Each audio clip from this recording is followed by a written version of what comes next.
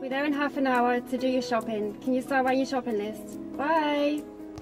And with a smartphone app, you can control and set up the MemRabel entirely remotely from anywhere in the world. Just leave it now. Come round to do your shopping. I'll be there in half an hour. Can you write your list, please?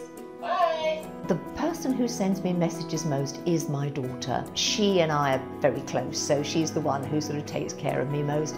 And it's marvellous because she can send me reminders from wherever she happens to be. So it doesn't matter what time of the day it is, what time or where she happens to be, she can always send me my reminders so I don't forget. So it's really good.